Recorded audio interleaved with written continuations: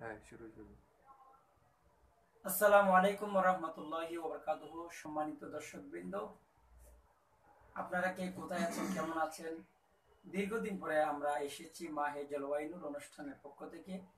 কিছু সত্য বিষয় নিয়ে, যারা সত্যকে গোপন করতে চায়, সত্য বিষয়টাকে আরও বেশি সত্যে পরিণত করার জন্য এবং সত্য জিনিসটা মানুষের কাছে পৌঁছে দেওয়ার জন্য আমাদের এই লক্ষ্য মাহে জলবায়ুর অনুষ্ঠান। আমরা প্রতিনিয়ত আপনাদেরকে কিছু বিষয় গুরুত্বপূর্ণ বিষয়গুলা তত্ত্ব দেওয়ার জন্য চেষ্টা করি। ঠিক একইভাবে আমরা আজকে মাহে জলবায়ুর অনুষ্ঠানের মধ্যে আলোচক হিসেবে দাওয়াত দিয়েছি আল্লামা ওয়াহিদুর রহমান আল কাদির কাবলামাদ দাজিদুল আলী মোহতারাম। আপনি কেমন আছেন? আলহামদুলিল্লাহ ভালো আছি। তো প্রিয় দর্শক এতদিন ধরে আপনারা শুনে আসছেন চট্টগ্রামে আমরা যাদেরকে, যার বাবাকে অত্যন্ত সুন্নতুল জামাত শ্রদ্ধা সহিত জানতো, এখনও জানে। তবে হ্যাঁ আমরা কোনো শিয়াবাদের সাথে সম্পর্ক রাখতে চাই না। এবং যে সমস্ত উলামাই কারাম শিয়াবাদের সাথে সম্পৃক্ত আমরা তাদের সাথেও সম্পর্ক রাখতে চাই না। যেমন আমি ইতিমধ্যে শুনেছি, আমার কানে এসেছে যে অনেকেই লোক বলে শুনেছি, আল্লামা ওয়াহিদ রহমান আল কাদরি ইমাম ভায়াতের একজন একনিষ্ঠ ব্যক্তি। তো আমি আজকে জাতির কাছে প্রশ্ন করতে চাই যে আসলে যে উনি কোন কারণে গিয়েছেন বা গিয়েছেন কিনা গেলেও কোন কারণে গিয়েছেন বা এখানে কি টাকার কারণে গিয়েছেন না কোন কারণে গিয়েছেন, বিষয়টি একটু স্পষ্ট হওয়া অত্যন্ত দরকার। সেজন্য আমি মোহতারাম আলোচককে বলব, আপনি একটু আমাদেরকে এতটুকু স্পষ্ট করুন যে আপনি ইমাম হায়াতের কাছে গিয়েছিলেন? জি, আমি আসসালামু আলাইকুম রহমতুল্লাহি যারা দেশে, বিদেশে, বাইরে বসে আমাদের আজকের অনুষ্ঠান মাহা জলবায়ু নূর উপভোগ করছেন, সবাইকে আমরা আন্তরিক ধন্যবাদ জানাচ্ছি। অত্যন্ত একটা চমৎকার বিষয়ে আমরা আজকে আপনাদের সামনে উপনীত হয়েছি, যেটা সময়ের দাবি। আমার মসজিদ, আমি যে মসজিদে খেতাবতের দায়িত্ব পালন করি ওটা ওই আগ্রাবাদের পাশে। তথাকথিত যে ব্যক্তি বর্তমানে ইমাম হায়াত দাবি করে সেটা আমি আগে জানতাম না। সেটা আগে আমি জানতাম না। আমার মসজিদে একে একে দুই তিন জমায় আমাকে দাওয়াত আসছে আমার কাছে চিঠি আসছে এরা লোক পাঠাইছে। পরে যেই জুমার নামাজে লাস্ট আমার কাছে দাওয়াত আসছে চিঠি আসছে একটা অনুষ্ঠান হবে। জি যেহেতু আমরা বক্তা মাহবিল করি স্বাভাবিক। শূন্যতার ডাক আসলে আমরা যাই। একটা সেমিনার হবে একটা খতম বহারে হবে। তো সেদিন আমার কোনো বাইরে কোনো প্রোগ্রাম ছিল না। দাওয়াত দিতে আসলে দাওয়াত দিয়ে দাওয়াত নিয়েছি। তবে এখানে যে বিশাল একটা সমস্যা লুকিত আছে এটা আমরা আগে কখনো জানিও নাই বুঝিও নাই। আপনাদেরকে স্পষ্ট করুন হ্যাঁ, করেও নাই। কি ব্যাপার করে নাই? কারণ আমাদেরকে দাওয়াত দিচ্ছে? দীর্ঘদিন ধরে যিনি ওনার বাবা আল্লামা সাহেবুর রহমান নিজামি উনি আমাদের জামি আহমদ সুন্নি আলী উনি খেদমত করেছেন বিভিন্ন বড় বড় সুন্নি সম্মেলনে উনি প্রধান মেহমান থাকতেন সভাপতি থাকতেন। তো ওনার ওনার ওনাকে সবাই ওনাকে এ টু জেড সুন্নিরা ওনাকে শ্রদ্ধা করে। তো আমি সেভাবে আমি গিয়েছি পরে দেখলাম যে না এখানে তার বাবার নামের অন্তরালে একটা লুকায়িত আছে তার বাবা সারা জীবন সুন্নিয়তের কাজ করছে।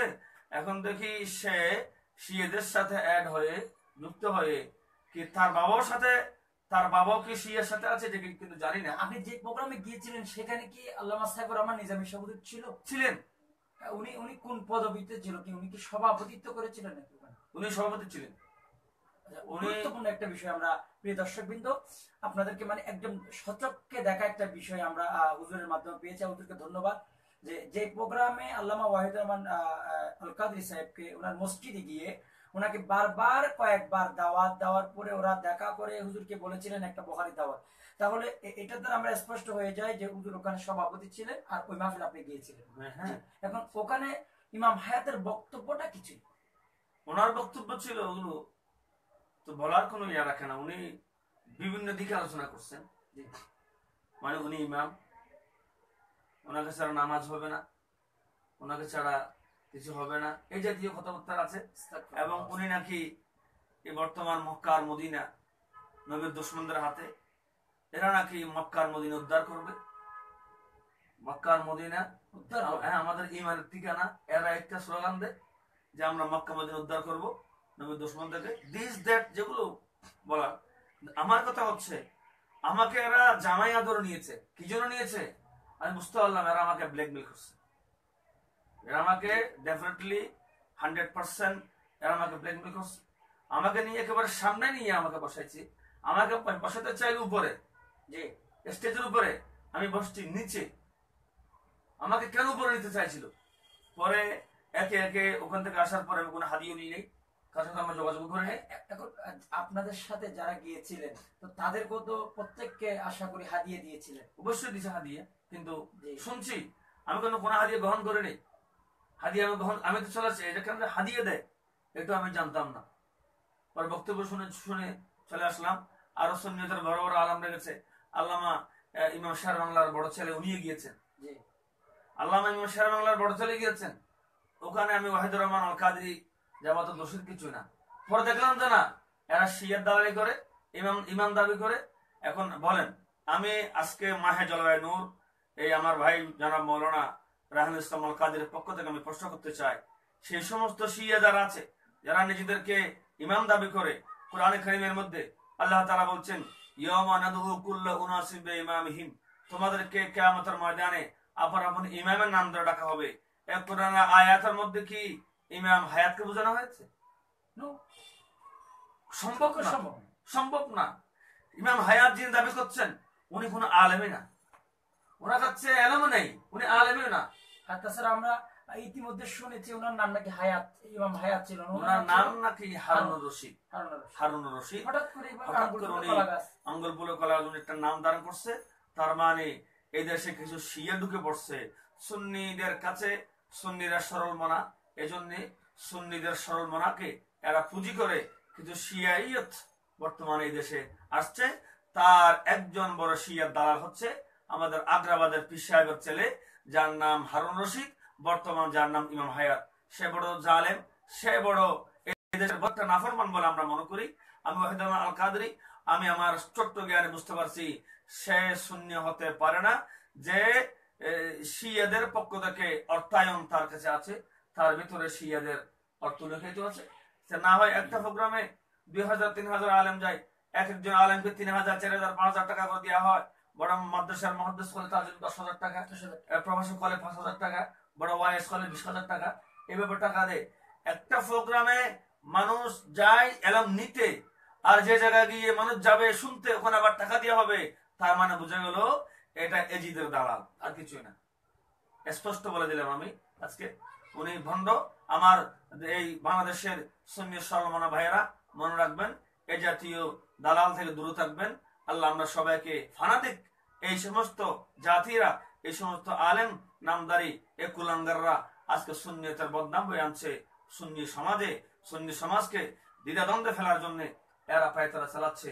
মূলত এটা ইহুদিন আসরার কার সাজি এখানে কোনো মুসলমানদের কাজ নেই। প্রিয় দর্শকবৃন্দ তাহলে আপনারা স্পষ্ট হয়ে গেলেন আল্লামা ওয়াহিদুর রহমান আল কাদরি কিন্তু কোন শিয়াবাদের সাথে সম্পৃক্ত নেই। নাই। এবং উনি এটা আহ, ভুলে গিয়েছেন এবং ওনাকে এটা ইনফর্ম করা হয়নি। এটা ওনাদের একটা প্রোগ্রাম তো হুজুর না জেনে গিয়েছিলেন এরপর থেকে উনি প্রোগ্রামে যাওয়া বন্ধ করেছেন। তাহলে আমাদের। পরে আমাকে ফোন করছে। হুজুর আপনি তো আসছিলেন আপনি তো আমাদের একদম ফার্স্ট বেঞ্চ আপনি ছিলেন। হ্যাঁ ছিলাম তো। হুজুর একটু আমরা আপনার সাথে বসবো। তো ভাই কেন বসবেন? আমি তো প্রোগ্রাম করে চলে আসছি বসবেন কেন? বলে না আপনার সাথে মহান ইমামের সাথে আমার সাক্ষাৎ হবে। আমি বলি ঠিক আছে মহান ইমামের সাথে আমি ঘরে বসবো না আমি ওপেন বসবো। ওপেন মাঠে বসবো? জি। প্রোগ্রাম যেখানে হয়েছে এরকম ওরি- আমি যে প্রোগ্রামে গিয়েছি অন্তত দুই হাজার আলেম ছিলেন। দুই হাজার আলেমের সামনে আমাকে আমাকে নিয়ে বসতে মোবাইলটা একটু দিবেন যদি করে আমাদের অনেকে অনেক ভাইরা প্রশ্ন করতে পারে তো সেই সুবাদে আমাদের প্রশ্নগুলা দেখতে হবে এবং ওনারা কি বলতে চাচ্ছে অনেকে এখানে কিন্তু ইতিমধ্যে টপিকস হয়তো বা করেও করেও ফেলেছে। তো জি বলুন আপনি যে আপনাকে বলা হয়েছিল। হ্যাঁ আমি বলছি ঠিক আছে আমি বসবো। একশো বার বসবো এক কোটি বার বসতে রাজি আছি। হ্যাঁ যদি সে আমার সাথে ওপেন বসে। যেই যে অডিয়েন্স ছিল ওই সমস্ত অডিয়েন্সের সামনে আমি প্রশ্ন করব ইমাম হায়াত মানে কি? আমাকে ইমাম হায়াতের অর্থ বুঝে দিতে হবে। ইমাম মানে নেতা হায়াত মানে জীবন। সে কেমনে কেমনে কেমনে সে জীবনের নেতা হয়? ইমামুল হায়াত এটা আমার আমার সরকার দোয়া আমার নবী। যেহেতু যেহেতু নবীজি ইমামুল আরওয়া নবীজি ইমামুল আরওয়া হায়াতুন নবী। হায়াতুন নবী। নবীজি ইমামুল আরওয়া সমস্ত রুহের পিতা হচ্ছে আমার নুরুন নবী সাল্লাল্লাহু আলাইহি ওয়াসাল্লাম জোরে বলেন না সুবহানাল্লাহ। সুবহানাল্লাহ নবীজি সমস্ত রুহের রুহের নবীজি ইমাম ইমাম। রুহের ইমাম রুহের অপর নাম হায়াত এখন সে কেমনে? তাহলে বুঝে গেল সে কি নিজেকে নিজে নবী দাবি করেন নাই? হ্যাঁ কৌশলে শুধু নবী নয় সে সে যেটা বলছেন আমাকে ছাড়া নামাজ হয় না। তো এটা তো আল্লাহর সাথে শরীক করে ফেলছে। প্রিয় দর্শক আমরা আরেকটা বিষয় যেটা হুজুরকে রেখে আমি বলতে চাচ্ছি। এখানে হুজুর একটা এবারও দেওয়া হয়েছে যে ইবনু কাসির বলেন ফকাত আওরাদা আওরাদা ইবনু আসাকির আহাদিস ফি দম ইয়াজিদ ইবনে মুআবিয়া কুল্লাহা। লা ইয়াসহু মিনহু শাইউন। এখানে বলা হচ্ছে একটা মিথ্যা কথা বলা হচ্ছে এখানে যে ইবনে কাসিরের রেফারেন্স দিয়ে কোনো স্বভাবই হ্যাঁ ইবনে কাসিরের রেফারেন্স দিয়ে তারা একটা একটা ওই মানে আরবি আবার তুলে ধরছে ইবনে আসাকির থেকে যে যত হাদিস ইবনে আসাকিরের আহ, মধ্যে ইয়াজিদ সম্পর্কে বলা হয়েছে যে ইয়াজিদের এগুলো সব বানোয়াটি এখানে কোনো ব্যক্তি নাই এটা কোনো কোনো শুদ্ধ নাই এটা এখানে জাল। আসলে স্পষ্ট হাদিস আছে যে ইয়াজিদ বনু উমাইয়া থেকে একজন লোক আসবে সে আমার রাসূল পাকের আহ, নবীজির পরিবারের উপর আঘাত হানবে। নবীজি বললেন আহ, ইন্না আহলা বাইতি মিন বাদি মিন উম্মতি কতলা ওয়া তাশরীদা রাসূলুল্লাহ সাল্লাল্লাহু বলেছেন যে আমার পরে, আমার পরিবারের উপরে, আমার আমার পরে, আমার পরিবারের উপরে বড় জুলুম হবে, অত্যাচার হবে হ্যাঁ? নবীজি বলে গিয়েছেন, অত্যাচার হবে। তো অত্যাচার হবে, অত্যাচার- হবে কারা? মিন বনি উমাইয়া। বনি উমাইয়া বলেছেন। এবং সাথে সাথে বনি উমাইয়া থেকে হযরত আবু এই জ্ঞান ওনার ছিলেন। আল্লাহ নবী থেকে উনি এমন জ্ঞান নিয়েছেন। আবু হুরায়রা বললেন একদিন আল্লাহ নবীর কদমে গেলেন ইয়া রাসূলুল্লাহ, ইন্নী হাফিজতু হাদিসান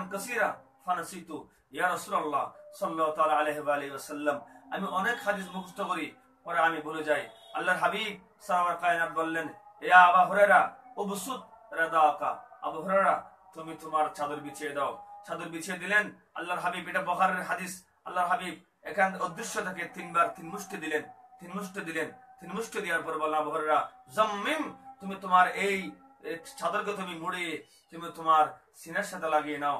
আবু বললেন, আল্লাহর কসম, সেদিন সেদিন থেকে আমি আমি ওই রসুল্লাহ ইসলামের যখন এলম দিয়া, যখন ওই চাদর যখন আমি আমার সিনের সাথে লাগাই লাগলাম, আজ পর্যন্ত আমি আর আর কখনো একটা হাদিসও বলেন। সুবহানাল্লাহ।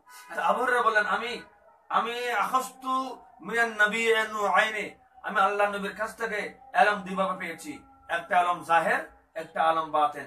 যদি এলমে জাহের এলমে জাহের আমি প্রকাশ করতে পারব। এলমে বাতেন প্রকাশ করা যাবে না। আবু বললেন, যদি আমি এলমে বাতেনের কথা বলে দিই, তাহলে আমার হুলকুম দিয়ে কেটে দেবে। আমার হুলকুম কেটে কেটে ফেলা হবে। আবু যার কাছে সেই এলম ছিলেন, এলমে বাতেন ছিলেন, আবু এই হাদিস থেকে আবু বুঝতে পারলেন যে ষাট হিজের দিকে এই ঘটনা ঘটবে। হযরত আবু রাওয়াত হাদিস রাওয়াত করলেন কাছে দোয়া করলেন ইন্নী মিন আল্লাহ, তুমি আমাকে ওই বছর থেকে বাঁচাও, ওই বছর আমি চাই না যে বছর ষাট আল্লাহ যেন আমি, আমার জীবনে যেন আমি দেখতে না পাই, এবং ইমারত সিবিয়ান, তার মানে আল্লাহ- তুমি আমাকে এজিদ থেকে পানা দাও। আমি মহতারাম আলোচককে বলবি, ইতিমধ্যে কিন্তু অনেক প্রশ্ন এসেছে। আপনাকে বলা হয়েছে, রাজাউল মুস্তাফা কাইসার সাহেব বলছেন যদি টাকা নেওয়া যদি ইয়া হয় তাহলে আপনি টাকা নিলেন কেন? আপনি কি সেদিন টাকা কোনো টাকা নেই আমি কোনো টাকা নিয়ে নেই। রেফারেন্স দিতে বলেন আপনাকে এখানে বলা হচ্ছে এখানে এখানে বলা হচ্ছে আপনি মৃত্যু। এই লোকটা জালেম। হ্যাঁ, এই- লোকটা জালেম। মুস্তাফা কাইসার উনি বলছেন হ্যাঁ, আমাকে অনেকবার প্রস্তাব করছে। আমার আমার মোবাইলে মেসেজ আছে সরি হুজুর। জি। এই আবেদন মোস্তফা কাইসারের নামে লিখে আছে সরি হুজুর আমাকে অনেকবার সাই চেষ্টা করছে ব্ল্যাকমেল করবার জন্য। শেষ পর্যন্ত সে আর পারে নাই। শেষে সে বলছে কি সরি হুজুর আমার কাছে এটা মেসেজ আছে। আছে না? আছে তাহলে প্রিয় দর্শক বিন্দু দেখেন কি কোথায় কি লুকিত আছে আমরা আসলে না জানার কারণে এটা আমরা বিভ্রান্তির মধ্যে পড়ে যাচ্ছি। রাজা মুস্তাফা কাইসার সাহেবকে বলব আপনি যে আমাদের সম্মানিত আলোচক কি মৃত্যুক বললেন আজকে কিন্তু জাতির কাছে আপনি মৃত্যুক হয়ে গেলেন। আপনি যে ওনাকে প্রস্তাব দিয়েছিলেন সমস্ত মেসেজগুলো রয়েছেন। তো এবং জালোয়ার কাদেরি বললেন মিথ্যাবাদীর উপর আল্লাহ লানত। হ্যাঁ? এটা আল্লাহ লানত। যদি উনি যদি মিথ্যা কথা বলে থাকে এবং রাজাল মুস্তাফা কাইসার বলে খুদার লানত মিথ্যাবাদীর উপরে। আপনি কি মিথ্যা কথা বলেছেন? ঠিক আছে ও- বললে ওর উপর পড়বে। ওর উপর বলবে আমি টাকা নিলে এটা ওকে প্রমাণ দিতে বলে। হ্যাঁ তো এখন আমার আমানুল্লাহ ভাই বলছে তোদের উপর? মাহফিলটা করে আমি চলে মাহফিলটা শেষ যখন শেষ শেষ হচ্ছে আমি তখন চলে আসলাম। আর অনেক বড় বড় আলমরা ওখানে গেছে সবাই তো ওখান থেকে বের হয়ে কেউ ওখান টানা যাচ্ছে হ্যাঁ? আস্তাগফিরুল্লাহ আমরা এখানে এখানে আসলাম এখানে আসলাম। হ্যাঁ। অনেক আলেম সেদিন নিজে নিজে তবা করছে। এখানে যেন আমরা যেন আর না আসি। নাম শুনে চেষ্টা করে আমি নামির এখন বেলা হয় আচ্ছা ভাই, এখন আরেকজন সুজন ভাই প্রশ্ন করেছেন, ইমাম হায়াত এবং সব মুরিদকে আমি চ্যালেঞ্জ দিয়ে কিছু প্রশ্ন করেছিলাম। আমার আইডি থেকে, অথচ উত্তর না দিয়ে আল্লামা রায়হান রাহাবার আমাকে ব্লক মেরেছে। রায়হান সুজন ভাই, আপনি আরেকটু আশা করি আমাদেরকে স্পষ্ট করবেন। রায়হান রাহাবার ব্যক্তিটাকে আমরা চিনি চিনি নাই, এত একটু দয়া করে স্পষ্ট করবেন, আমরা যতক্ষণ থাকি। লাইভের মধ্যে। ধন্যবাদ। এখানে রেজাল মুস্তাফা কাইসার বলছেন ইমামবালা যদি শি- আহ, শিয়ার আলামত হয় তাহলে আপনারা তো এক একজন শিয়া। কারণ আপনারা কোনো না কোনো মসজিদের ইমাম। আপনি উত্তর দিবেন মসজিদের ইমাম হওয়া তো আর শিয়া হতে পারে পারে না। কেন? মসজিদের ইমাম তো আমার আমার নবীও ছিলেন। ছিলেন। মসজিদের ইমাম তো সিদ্দিক আকবর ছিলেন। মূল কথা হলো উনি নামটা পরিবর্তন করে হায়াত লাগালে কেন? হায়াত হায়াত লাগাইল আর ওনার ওনার কালচারটা ওনার কালচারটা যে উনি বলতে লাগলেন যে আমাকে ছাড়া নামাজ হয় না। তো কোন ইমামে কি কথা বলছে? আমাকে ছাড়া নামাজ হয় না? কোন মসজিদের খতিব সাহেবকে বলছে আমাকে ছাড়া নামাজ হয় না? এটা কোন ধরনের কথা? কোন ধরনের? হ্যাঁ। উদ্ভট কথা বলে সে চাচ্ছে কি জানেন? সে এখানে একটা উদ্ভট কথা বলে এখন কিছু ফায়দা লুটাবে। বাংলার জি। মুসলমান এখনও বেঁচে আছে। ইমাম সাহেব বাংলা উত্তর উত্তরসূরি এখন বেঁচে আছে। ইনারা থাকতে সমস্ত ভণ্ডদের আমরা প্রতিহত করব ইনশাআল্লাহ। হ্যাঁ, এবং আরেকজন ভাই বলছেন রেজাল করিম তুই কত টাকার কাছে বিক্রি হয়েছিস? আসলে কথা ঠিক। অবশ্যই। একটু আশা করে আমাদেরকে জানাবেন। রেজাল করিম সাহেব আপনি কত টাকা বিক্রি কত টাকা নিয়ে আপনি ওনার কাছে গেছেন? আমাদেরকে একটু জানাবেন জাতিকে একটু এই। রাজাউল করিম জান না এই তিন দিন হয়ে নাই আল্লামা মতিনের পাশ হেঁটে সেটে আল্লামা মতি সাহেবের পাশ হেঁটে সেটে নাচ পড়বার জন্য আমি একটা নাচ পড়ব আমি একটা নাচ পড়ব। এরকম করে করে ঘুরছে যে তিন দিনে হয় নাই হ্যাঁ। এখন তিন দিনের ভিতর সে কি পাইছে? আঙ্গুলগুলো কলা গাছ। ওই পাইছে ইমাম হায়াত থেকে জি মারুফ উদ্দিন বলছেন ওয়াহেদ সাহেব আপনার সাথে আমার হোটেলে হোটেল জামান জামানে সরাসরি কথা হয়েছে। আপনি নিজে বিভিন্ন মামলায় জর্জরিত। আপনার জীবন বৃত্তান্ত অতি শীঘ্রই তুলে ধরা হবে। ঠিক আছে। দেন আমার তো মামলা আছে অবশ্যই। আপনার কিসের মামলা? আমার মামলা আছে আমার আমার জামাতে আমাকে ব্ল্যাকমেল করতে পারে। হ্যাঁ। ব্ল্যাকমেল করতে পারে। আমার পারিবারিক বা কোনো মামলা মামলা থাকতেও পারে। দেন তুলে দেন সমস্যা তুলে সব মামলা আমি ফেস করব। আচ্ছা আচ্ছা আচ্ছা তো ধন্যবাদ। আসলে সুন্নি জামাতকে এভাবে মামলার মামলা হামলা দিয়ে তো আসলে পিছিয়ে রাখা যাবে না। ইমাম শের বাংলাকে কত মামলা দিয়েছিল? কত সে মামলা খেয়ে কি ইমাম শের বাংলা পেছনে গেছে? ধন্যবাদ। মারুফ উদ্দিন ভাই আপনি আশা করি আপনার উত্তরটা যথাযথভাবে পেয়েছেন। হ্যাঁ এবং আমানুল্লাহ ভাই বলছেন ঠিক। এবং আহ, মনিরের মোহাম্মদ তহিদ আহ, উনি এবং বলছেন এইচ এম নুরি বলছেন আমাদের সুন্নিরা এক হতে হবে রায়হান ভাইয়ের মতো। তো ধন্যবাদ আল্লামা হুসাইন নুরিকে উনি কিন্তু উমান থেকে বলছেন। অত্যন্ত আমাদের সুন্নিয়তের কাজ করে যাচ্ছেন। আল্লামা হুসাইন নুরি সাহেব যাকে আমাদের জামে আমাদের সুন্নিয়ার অসংখ্য ওলামা একরাম চিনেন। আল্লামা নঈসা হুজুর অত্যন্ত মায়া করেন এবং হুজুর কেবলা তুই হাত থেকে যিনি ইয়া নিয়েছেন পুরস্কার নিয়েছিলেন। তো আপনাকে ধন্যবাদ আপনি আমাদের সাথে লাইভে থাকার জন্য এত কষ্ট উনি অ্যাক্সিডেন্ট করেছেন। ওনার গাড়ি অ্যাক্সিডেন্ট করেছে তারপর উনি আমাদের সাথে লাইভে আছেন। হুজুর, আপনাকে ধন্যবাদ। এবং আরেকজন জয়নাল আবেদিন ভাই বলছেন জাজাকাল্লাহ খায়রান, সত্য উন্মোচিত করা ইমানের দাবি। তো আমার জন্য দোয়া করবেন এবং মাহের জলবায়ুর জন্য দোয়া করবেন, হুজুরের জন্য দোয়া করবেন। আমরা চাচ্ছি সত্যটা যাতে জাতির কাছে একটু তুলে ধরতে পারি, যে হুজুর আজকে এটা ব্যস্ততার কারণে হুজুর আজকে জাঙ্গালপাড়া প্রোগ্রাম করবে। তো, ওখানে প্রোগ্রাম আছে, তারপরেও কিন্তু যে মায়ের জলবায়ুকে সময়টুকু দিয়েছেন, আমি তো অত্যন্ত খুশি হয়ে গেলাম। তো, এবং যাতে কিছু জানতে পারল। তারপরে এখানে আরেকটা বিষয় এখানে যে মোহাম্মদ নুরুল আফসার বলছেন এ ব্যাপারে আল্লামা নিজামির অভিমত কি? জানালে খুশি হব আল্লামা নিজামির কোনো অভিমত আপনি কি জেনেছেন? না আমি যখন জানতে পারছি এরা ভন্ডের ভিতর আছে আমি এখানে কথা হলো আল্লামা নিজামী সাহেব কি কোনো বক্তব্য দিয়েছিলেন? সভাপতি ওই প্রোগ্রামে কোনো উনি সভাপতি ছিলেন বা উনি সমর্থন করেছেন নাকি উনি কোনো বক্তব্য দিয়েছিলেন? অনেক বক্তব্য দিছে মনে হয় আমার পুরোপুরি খেয়াল আসতেছে না। বক্তব্য একটা দিছে মনে হয় এটা আমার পুরোপুরি খেয়াল নেই। পুরোপুরি আসতেছে না আচ্ছা ধন্যবাদ। তো আরেকজন হায়াতের কারবার দেখে আমি তো নিজে বেহস পুরোপুরি ইমাম এটা তো যুগে যুগে উঠবে। দেখেন প্রিয় দর্শক বিন্দু বইটার নাম দেখুন আপনারা। এগুলো তো ইমাম হায়াত যে উঠবে এটা তো এটা একেবারে মানে কঠিন একটা বিষয় দেখেন আপনারা। আমি আপনাদেরকে দেখাচ্ছি আশুরায়ে মহরম ও আমাদের করণীয়। আশুরায়ে মহরম এবং আমাদের করণীয়। বইটা লিখেছেন মোহাম্মদ আসাদুল্লাহ আল কালেদ উনি। আরেকজন আরেকজন আরেকজন ইমাম। হায়াতের মারাত্মক। আর আহাল হাদিস।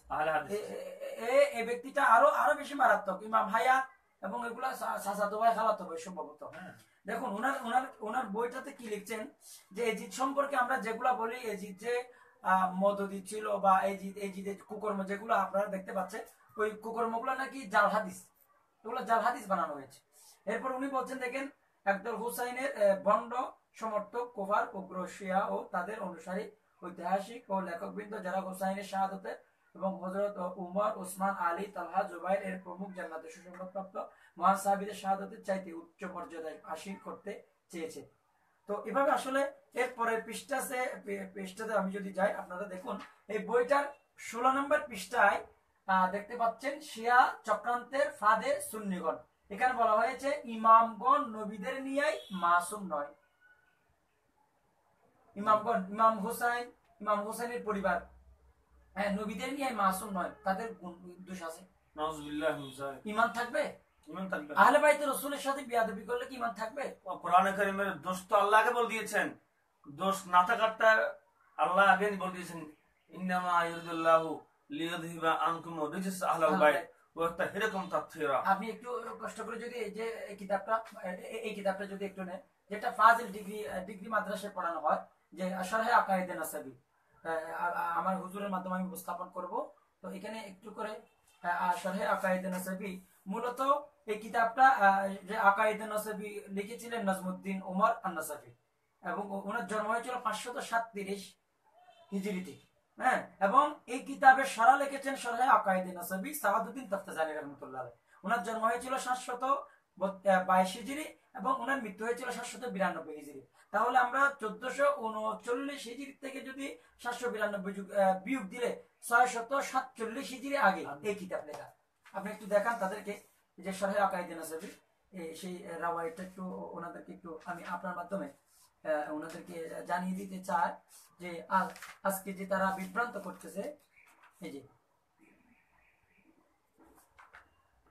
এ- একটু সামনে গেলে দেখা যাচ্ছে এই যে আপনারা দেখতে পাচ্ছেন এই যে এখান থেকে যদি একটু পড়েন আন্নাহু আন্নাহু কাফারা হিনা হিনা আমারা বাকাতুল হুসাইন ওয়া তাফাকু আলা জাওয়াজুল জাওয়াজুল লান এটা হুসাইন হবে মনে হয় শুনেন। ওয়াতলাকা আল্লানু আলাইহি। হ্যাঁ।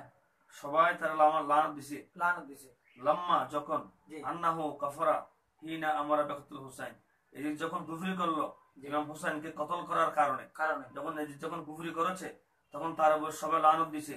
ওয়াত্তাফাকু আলা জাওয়াজুল লান তাকে লানত দিয়ে এটা জায়েজ। জায়েজ। এজিদ এজিদের পরিবার ইয়াজিদের এজিদের যারা সমস্ত ইমাম একমত পোষণ করে ওয়াত্তাফাকু। আলা। জাওয়াজুল লান। একটা সমস্ত ইমামরা এটাকে ফতো দিয়েছেন। যারা হোসেনকে কতল করেছে। ও আমার আবিহি যারা দিয়েছে ও এখানে অনুপ্রাণিত করেছেন এজাজত দিয়েছেন। সবাইকে। সবাইকে লানত দিতে হবে। এবং আল্লামা সাদুদ্দিন তপ্তদানি বলেছেন লান আল্লাহু আলা এজিদা ওয়ালা আওয়ানিহি। এজিদের উপর খুদা লানত এজিদের উপর খুদা লানত আল্লাহ লানত আল্লাহর গজব। আর যারা এজিদকে সাহায্য করেছে এদের উপর খুদা লানত এবং এই কিতাবে কি বলা হয়েছে? বলছেন এজিদকে আমরা কখনোই মালন বা অভিশপ্ত বলব না। তাহলে আমি কি নামাজি বলব? আহলে রসুলকে কষ্ট দিয়েছে তাকে আমি আল্লাহওয়ালা বলব? এখানে বলা হয়েছে ইবনে জিয়াদের কঠোর নির্দেশনা এবং সীমার বিন জৌসনের নিষ্ঠুরতায় ছিল হত্যাকাণ্ডের মূল দায়ী। দায়িত্ব দিছে তাদেরকে। আপনি যদি এই অস্ত্র টাকান অস্ত্র চলবে হাত লাগলে। এখন কি অস্ত্র দোষী না হাত দোষী হাত দোষী ওবায়দুল্লাহ বিন জিয়াদের এই অস্ত্র অস্ত্র। হাত তো এজিদের ছিল। এজিদের ছিল। হাত এজিদের ছিল। এজিদের হাতে সে শুট করছে। ওটা তো এরা তো অস্ত্র বিশেষ। সিমার বিন হোসেন সানান বিন রাজিন ওবায়দুল্লাহ বিন জিয়াদ হৌলি বিন এজিদ এরা তো ছিল অস্ত্র। হাত ছিল তো এজিদের। এজিদের। এজিদের হাত ছিল। গুরুত্বপূর্ণ রাইট। জি। তখন দোষীকে? অবশ্যই জিয়াদ। অবশ্যই আহ, এজিদ। এজিদ। এবং এজিদের মাধ্যমে সবকিছু সব সবকিছু উনি অর্ডার দিয়েছেন। এবং আল্লাহ ইবনে আসাকির সহ, তারিখ তাবরি সহ, তারিখুল তারপর কামেল তারিখ ইবনে খুলদুন। খুলে দেখেন, এজিদ এজিদ মারা গিয়েছে মদের বোতলের মধ্যখানে। তার চতুর পাশে যে প্রদেশে এজিদ মারা গেছে, তার চতুর্পাশে মদের বোতল ছিল। একটা মহিলা সে নাচতেছে। আমার ইউটিউবে চ্যানেল আমি এই বক্তব্যটা আমি রেখেছি। সে নাচ, একটা মহিলা নাচতেছে, চতুর্পাশে মদের বোতল ছিল। ওখানে এজিদ মারা গেছে, লানত লানতার মারা গেছে। আর আমার ইমাম আলী মাকাম ইমাম হোসেন শাহাদত বরণ করছেন নামাজে। সুবাহান সুবহানাল্লাহ সুবহানাল্লাহ। ইমাম হোসেনের শাহাদত নামাজে। আর এজিদ এজিদ মারা গিয়েছে কোথায়? আপনার মদর বোতল মুদমনে খমর যে যে ব্যক্তি শরাব পান করে নবীজি বললেন যখন শরাবি শরাব পান করে ও রুফি আনহুল ইমান তার থেকে ইমান উঠি উঠে নেওয়া হয়। না হ্যাঁ। যখন জানা করে যখন জানা করে তার থেকে ইমান ইমান উঠিয়ে নেওয়া হয়। তা এই সময় যদি সে মারা যায় সে বিমান হয়ে মারা গেল। এই মদ পান করতে যখন তখন সে মারা গেছে। সে তো মোমেনে বলা যাবে না। আর ওরা বলছে ওনাদেরকে দালাল। এরা শিয়াদের দালাল এই দালাল। মোহতারাম আমরা একটু প্রশ্নের উত্তরে আসি। আসলে আপনাকে ওরা অনেক প্রশ্ন করতেছে। এতদিন কিন্তু আপনি লাইভে না আসাতে কিন্তু ওরা প্রশ্নগুলো উত্তর পায়নি। সেজন্য আপনাকে বিরক্ত করছেন। যেমন বলছেন যে একজন ভাই বলছেন হায়াতের সকল বন্ড ফিতনাবাস। সুন্দর বলছেন সুন্দর। জয়নাল আবেদিন ভাই আপনাকে ধন্যবাদ। এবং আমাদের মোহতারাম আলোচক আপনাকে ধন্যবাদ জানাচ্ছেন। এবং রফিকুল ইসলাম রুবেল বলছেন মাশাআল্লাহ ধন্যবাদ আপনাকে। সিরাজুল ইসলাম আপনাকে ধন্যবাদ আপনি দেখছেন। রেজাল মুস্তাফা বলছেন আয়াতে কি নির্দিষ্ট কোন ইমামের কথা বলা হয়েছে? তফসির ইবনে কাসির করলেন না। ওখানে ইয়া মনাদু কুল্লু উনাসিম বিইমামিহিম দ্বারা বোঝাচ্ছেন আয় হানাফিরা তোমরা আসো। আয় শাফিরা তোমরা আসো। আসো। আয় মাওয়ালিকে তোমরা আসো। আয় হানাবলে তোমরা আসো। এটা তো উল্লেখ আছে। তোমরা তো জাহেল কিতাব তো বুঝো না কিতাব কাউ বুঝো না। এভাবে অহেতুক পড়ালেখা তো করো নাই। দু একটা পড়লা মোল্লা হয়ে যায়? এটাই তো কথা। আচ্ছা যাই হোক মুস্তাফা কাইসা সাহেব আশা করি আপনি উত্তরটা পেয়েছেন। আমাদের মোহতারাম আলোচক আপনাকে উত্তর দিয়েছে। আমরা কটুক্তিমূলক কোন কথাবার্তা আপনাকে বলছি না আপনাকে বলছি বোঝার চেষ্টা করুন সময় আছে এখনও পর্যন্ত। মাহরুদ্দিন বলছেন একুশে জুলাই আগ্রাবাদ কনভেনশন হলে উক্ত প্রোগ্রাম আল্লামা সৈয়দ আমিনুল হক আল কাদিরির সভাপতিত্বে অনুষ্ঠিত হয়েছে। যতই জঘন্য মিথ্যাচার করুক না কেন আপনার জঘন্য মিথ্যাচারের স্বরূপ উন্মোচিত হয়ে গেছে সভাপতির বক্তব্য আল্লামা আমির হক আল কাদের দেন নাই। সভাপতির বক্তব্য দিয়েছে সাহেবের রহমান নিজামী। এখন কাকে কীভাবে বেলমিল করা হচ্ছে এটা আল্লাহ ভালো জানে। হ্যাঁ। এখন আমরা গুরুত্বপূর্ণ তথ্য খুব রিসেন্টলি হ্যাঁ, খুব। রিসেন্টলি হুজুর ইয়া করছে। এই বড় বড় মেয়ে বললেন যে আমি ভুল করছি আমি আমি ওখানে আমি আর যাব না। যেমন উনি আহ, মাসেক সম্মেলনের মধ্যে উনি গিয়েছিলেন। বুঝেছিলেন হ্যাঁ আর যদিও বা যদি উনি ইমাম শের বাংলার সন্তান হয়েও যদি ইমাম হায়াত সেখানে যায় তখন আমরা ইমাম শের বাংলার শান কিন্তু কমবে না। কমবে না। এবং আমরা তার এতাহাত করব না। যদিও উনি ইমাম হায়াতের পথে চলে যায় এটা সুন্নিদের একটা গুরুত্বপূর্ণ কথা আপনারা শুনে রাখেন। আর আরেকজন ভাই বলছেন যে ইমাম হায়াতের ভণ্ডামি দ্বারা পড়েছে জাতি আজ জানতে পারল তাদের আসল রূপ। ধন্যবাদ আপনাকে শেখ মোহাম্মদ তারেকুল ইসলাম। এরপরে বলছেন যে সাগর আহ, মুজ্জাম সাগর মুজ্জাম বলছেন কারা এদেশে শিয়াবা লালন করছে দেখুন। কারা করছে? ইমাম হায়াতের দলেরই তো করছে। করছে। এরা বিভিন্ন জায়গার মধ্যে গিয়ে এভাবে টাকা দিয়ে প্রোগ্রাম চালাচ্ছে। তা আমরা বললে আমরা তো শুধু মৌলা আলী শের খোদার গুণাগান করছি না। আমরা সিদ্দিক একবারে গুণাগুণ করছি। জি ফারুক আজমের গুণগান হ্যাঁ, করছি। সিদ্দিক আকবর কনফারেন্স আমাদের আল্লামা আল্লামা হাসিম হুজুর কাবলার দরবারে সিদ্দিক আকবর কনফারেন্স হয়। জি। তারপরে হযরত উমর ফারুকের কনফারেন্স হয়। জি। তো সবটাই তো আমরা আমরা করে আসছি। আমরা যদি একা করতাম শুধু মৌলা আলীকে নিয়ে তখন একটা এলজাম আপনারা আমাদের উপর দিতে পারতেন। সাগর মোয়াজ্জমকে মোয়াজ্জমকে বলব ভাইজান আপনি ভালো করে চিন্তা করে দেখুন সুন্নিদের ভিতরে এমন কোন কালচার নেই যে আপনি শিয়াদের সাথে মিলাবেন। বরং যে ইমাম হায়াতের প্রত্যেকটা কার্যক্রমের মধ্যে তারা যে শিয়া, তারা যে মৌদুদি তাদের সাথে লিপ্ত রয়েছেন। আপনাকে আমি অনুরোধ করব আপনি একটু বোঝার চেষ্টা করুন। এরপরে আমানুল্লাহ আমান ভাই বলছেন, সেই উনিশশো তিরানব্বই সাল থেকে সুন্নিয়তকে ধ্বংস করার জন্য মুক্তাদ জুবাই ও দিমাম দিমাম উঠে পড়ে লেগেছে, কিন্তু সফল হতে পারে নাই।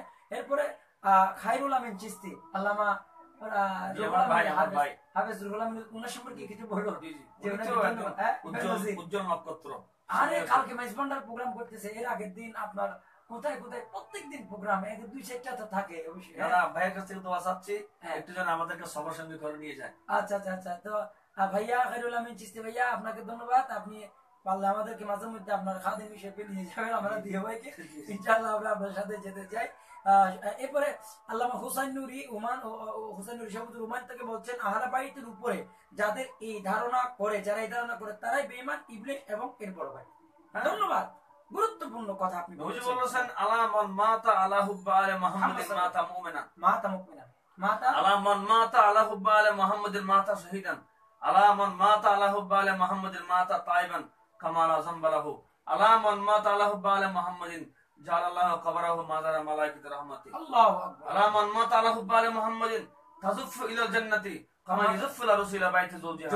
এতটুকু হাদিস এত হাদিস। নবীজি বললেন আহলে বাইতি কামিসলি সাফিনাতিন মান রাকাবা আলাইহি নাজা ওমান তাহাল্লা বানহা গারাকা। নবীর পরিবারকে যারা ইজ্জত সম্মান করে মহব্বত করে অন্তর জায়গা দিবে এরা নূহ ইসলামের কিস্তির উপর আরোহণ করেছে। আমরা নূহের কিস্তির ভিতরে আমরা আছি।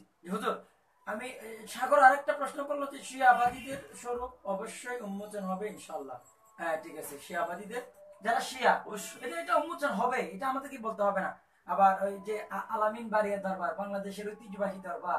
বারিয়া দরবার শরীফ আল্লাহ আকবর যেটা আসলে তুলনাবিহীন। ওলামা ওলামা ওয়াশেক সম্মেলনের মধ্যে যে হুজুর বলেছেন যে বদরুদ্দোজা বারিশা হুজুর বলেছেন যে রোহিঙ্গাদের জন্য যদি দশটা মসজিদ তৈরি করার জন্য যত কোটি টাকা লাগে এবং আপনার নলকূপ তৈরি করার জন্য যত টাকা লাগে সমস্ত টাকা বাড়িয়ে দরবার থেকে দেওয়া। এটা কি এটা কি সুন্নতের জন্য বড় একটা বড় একটা এটা বড় একটা। এটা বড় একটা অনুদান। এটা অতুলনীয় অপূরণীয়। আমরা দোয়া করি আল্লামা এই যে সৈয়দ মোকারাম বাড়ি হুজুরের হায়াতের মধ্যে যাতে আল্লাহ বরকত দান করে আল্লামা শামসুদ্দোহা বাড়ি মাদ্দাজিল্লুল হায়াতের মধ্যে যাতে আল্লাহ বরকত দান করে। বেনজির বেমসাল একজন মানে খেদমত করে যাচ্ছেন। হ্যাঁ? ধন্যবাদ জানাচ্ছি। যদিও এখনও আমি যেতে পারিনি ভাইয়ের কাছে। আচ্ছা আচ্ছা আচ্ছা। ভাই আপনি একটু ওনাকে দাওয়াত দিয়েন। আমাকে তো দাওয়াত দিয়েছেন মাশাআল্লাহ। ওখানে দাওয়াতের মধ্যে কিছু উগ্রপন্থীরা আমার আগে আলোচনা করে কিছু হাদেন তাদেন শব্দটা ব্যবহার করেছিল। আসলে মনে মোকাররম ভাই জানেন কিনা জানি না। যিনি আমাকে হাদেন ব্যবহার করে নামটা ব্যবহার করেছে উনি আমার হাদেন ছিল। অশিক্ষিত মূর্খ ব্যক্তিদের কথাগুলো আপনারা শুনতেছেন। অনুরোধ করব বিষয়টা একটু একটু বুঝবেন। কোন বিষয়টা কোথায় গিয়ে পড়েছেন? তো ধন্যবাদ। এবং আর আরেকটা বিষয় রেজাল করিম রেজাল মুস্তাফা কাইসার বলছেন মিথ্যাচার বন্ধ করো। কেন মিথ্যাচার বন্ধ করো? আমরা কি মিথ্যা কথা বলতেছি? আর যদি তুমি সত্যবাদী হও তুমি সত্যটা ওপেন করো। আমরা তো লাইভে আছি তুমি সত্যটা হ্যাঁ ওপেন করো। তোমার ইমামকে নিয়ে আসো। কোনো মসজিদে তোমার ইমামকে ইমামতি কর- ইমামতি করতে দিই। দেখি তোমার ইমাম ইমামতি করতে জানে কিনা। জানে কি না তখন মাগরিবের নামাজ পড়াইতে পারে কিনা তোমার ইমামে? আগে এটা দেখি। ঠিক আছে? এক। দ্বিতীয়ত আহ্বান জানাব আমাদের আল্লামা মতিন সাহেবের সাথে একটু বসার জন্য। আসেন না একটু বসি চাটা খাই। চা খেয়ে বসি দেখি তোমার ইমাম কি জানে। আচ্ছা এরপরে রেজাল মুস্তাফা ভাই বলছেন যে রায়হান ভাই দয়া করে এসব বন্ধ করেন। ভাই কেন বন্ধ করব? এখানে তো কেউ কাকে টাকা দেয় নাই টাকার কোনো মামলা নেই। কোনো মামলা আমরা এখানে মাই জলবায়ুর অনুষ্ঠানে এক এক দিন এক এক বিষয় নিয়ে আসি। আজকে যে জাতির প্রশ্ন এটা জানতে পারতেছে না। সেজন্য আমি ওয়াহিদুর রহমান আল কাদের সাহেবকে যে আমরা প্রস্তাব দিলাম যেহেতু উনি সচককে দেখেছেন এবং উনি শুনেছেন। যেহেতু আমি যাই নাই আমি শুনি নাই তো ওনার থেকে আমরা শুনলাম ধন্যবাদ। এরপরে বলছেন যে কারও সম্পর্কে না জেনে এমন মন্তব্য করবেন না। কেন? উনি উনি তো গিয়েছেন। আপনি আপনি গিয়েছেন আপনি দেখেছেন এবং আমি অনেককে এবং আমার একজন বন্ধু আজম তাকে ডিসি কনভেনশন হলে গিয়ে সে আমাকে বলছেন যে আপনি মিথ্যার উপরে আমরা সত্যের উপরে সে ছিল সুন্নি, তাকে হঠাৎ করে গিয়ে মানে ব্রেনটা ওয়াশ করা হলো। পরে আমি তাকে যখন শোনালাম যে, বক্তব্যতে বলছেন যে, আমাকে ছাড়া নামাজ হয় না, আমাকে ছাড়া রোজা হয় না, আমাকে ছাড়া জাকাত হয় না, বড় নাজুক একটা বিষয়। আমরা দুঃখ প্রকাশ করতেছি। সুন্নি নামদারি, এ সমস্ত ব্যক্তিরা কোনোদিন এই সমস্ত কথাবার্তা এটা বলতে পারে না। তো আহ, রেজা মুস্তাফা কাছে আপনাদের প্রতি অনুরোধ এসব বন্ধ করুন। না ভাই আমরা চালিয়ে যাব। আপনি অনুরোধ করলেও কিছু আসা যায় না আমরা চালিয়ে যাব। যেহেতু আমরা ইমামে হুসাইনকে ভালোবাসি ইমাম হুসাইনের মোহাব্বত আমাদের কলিজে আছে। যতক্ষণ ইমাম হুসাইনের রক্ত আমাদের শরীরে থাকবে আমরা এটা চালিয়ে যাব। যদি পারলে বন্ধ করে। ওয়াহিদ হুজুরকে বলছি আপনি চরম মিথ্যাচার করলেন। আপনি উত্তর দিবেন। প্রমাণ দেবেন। মিথ্যাচার কি করলাম? তোমরা কি আমাকে ব্ল্যাকমেল করো নাই? তোমরা কি আমাকে ব্ল্যাকমেল করো নাই? এটা কি মিথ্যাচার হলো? আমার মসজিদে দুই তিনবার চিঠি পাঠাও নাই? আচ্ছা এরপরে বলতেছেন এবং কাউকে এরপরও জুমাতে আমি আমার মসজিদে আমি ছড়া বক্তব্য দিয়েছি এই ইমাম নেই। মসজিদে? আমার মসজিদে আমি এরপর জুমাতে। আপনার মসজিদের নামটা একটু স্পষ্ট আমার মসজিদ আসেন আমার মসজিদ আগ্রাবাদ এই আপনার কদমতলি মোড়ে ইয়ার আলী মসজিদ। ইয়ার আলী জামা মসজিদ ইয়ার আলী মতিয়ারপুর। আরেকজন ভাই বলছেন মোহাম্মদ আমানুল্লাহ আমান ভাই। আমি বলতে আমি দজ্জালকে ইমাম বলতে পারব না। ঠিক আছে? আপনার চোখে যদি উনি দজ্জাল হয় আপনি ওনাকে ইমাম বলবেন না। দরবেশ নগর উনি বলছে সুন্দর ভাইজান আপনার একটু কষ্ট হচ্ছে না? আমরা শেষ করব কিন্তু প্রশ্নের উত্তর দিতে হবে। যে আহ, এরপরে এমডি শহীদ বলতে মাশাআল্লাহ অনেক শুভকামনা রইল। রাজা মুসা বলতে মেহরবানি করে এমন না করে। আসুন আমরা আহ, সামনাসামনি বসে সব বিভ্রান্ত সমাধান করি। আমরাও তো যাচ্ছি আমরা চাচ্ছি তো এটা। আহলে সুন্নাত ওয়াল আসেন ওয়েলকাম। হ্যাঁ, মোস্ট ওয়েলকাম আপনাকে। বসেন। আপনি বসেন আমাদের সাথে। গুরুত্বপূর্ণ কথা। এরপরে বলছেন যে প্রোগ্রামের পর ওয়াহিদ হুজুর নিজেও ইমাম। হায়াতের প্রশংসা করেছেন। কোথায়? বাট আজ সম্পূর্ণ কোন জায়গায়? আপনি নাকি কোন জায়গায়? যে প্রোগ্রামে গিয়েছিলেন সেই প্রোগ্রামে নাকি? কেন? আর কি কথা বলছেন এগুলো আমি প্রশংসা করব আমি? আপনি নাকি প্রশংসা করেছেন? কেন প্রশংসা করব? কি করছি? কি প্রশংসা করছি? প্রশংসা করার মধ্যে কি দেখছিলেন আপনি আমি কি দেখব সেখানে? আচ্ছা যাই হোক হুজুর বলছেন হুজুর প্রশংসা করেনি। ব্ল্যাকমেল করছে হ্যাঁ। আমাকে। যথেষ্ট ব্ল্যাকমেল যার শেষ নাই। দেখেন আরেকটা মজার বিষয় সাইফুল ইসলাম সরকার ভাই। উনি কিন্তু ঢাকা গুলশান বিয়ের যে মানে এসআই পদে রয়েছেন। তো উনার প্রিসাইড বলেন মুফতি আপনার রেজবি সাহেব ওই রেজবি সাহেব যে আমি কিছু- নেত্রকোনা। আমি ওখানে ওখানে গিয়েছিলেন। তো আল্লামা রেজবি সাহেব হুজুরের মুরিদ ছিলেন উনি। আর ইমাম হায়াত কি করলেন? যখন রেজবি সাহেব মারা গেলেন, ওনার সমস্ত গাড়িতে ফুল দিয়ে গাড়িটা খরচ করে উনি ঢাকা থেকে আনলেন। দেখেন কোথায় হাত দিচ্ছে। পর্যন্ত ইমাম হায়াত সেখানে গিয়েছেন। ইনশাল্লাহ আর সুযোগ নেই মানুষকে পদভ্রষ্ট করার। আমি সাইফুল ইসলাম সরকারকে বলতেছি, এই যে যাদের কথাবার্তার মধ্যে সিরকে রয়েছেন, আপনারা একজন ভালো হক্কানি পীরের মুরিদ, আপনারা আপনাদের পীর একজন হক্কানি সুন্নি আলেম ছিলেন এবং উনি পীর সাহেব ছিলেন। তো ওনার কথা যদি আপনারা মানেন ইমাম হায়াতকে বরখাস্ত করুন। আপনার ইমাম হায়াত ঠিক আছে আলহামদুলিল্লাহ আমার হ্যাঁ, প্রোগ্রাম আছে। জি, জি, জি, জি, আর- আরেকজন ভাই এই কথাটা বলে আমি শেষ করতে। মোহতারাম হুজুর এর কাছে আহ্বান থাকবে আপনারা সুন্নিয়তের মোড়কে শিয়াবাদের সমস্ত বতাকিদা সমূহ দালিল দালিলিক ভাবে প্রকাশ করলে আমরা সাধারণ মুসলমানদের ইমান আকিদা রক্ষা পাবে। তো ভাই আপনাকে বলছি জয়নাল আবেদিন ভাই আমি আপনাদের সেবার্থে মাহে জলবায়ুর কোনো অগোছালো কথা আজকে বলে নাই। আপনাদের